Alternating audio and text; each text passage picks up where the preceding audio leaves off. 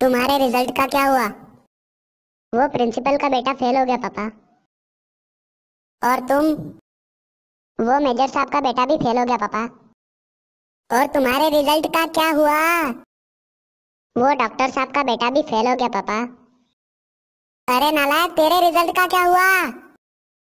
तो आप कौन से प्रधानमंत्री है, पापा? आपका बेटा भी फेल हो गया पापा आप ही तो मुझे स्कूल लेने क्यों आते हो? बाकी सबकी तो मम्मियाँ उन्हें लेने आती है। बस इसीलिए बेटा।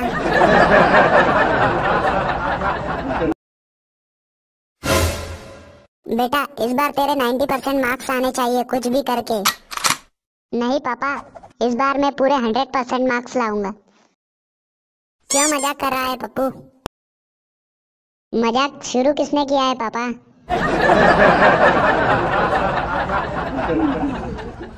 बेटा, अगर तू इस बार भी फेल हुआ तो मुझे बाप मत बोलना। तेरे रिज़ल्ट का क्या हुआ बेटा?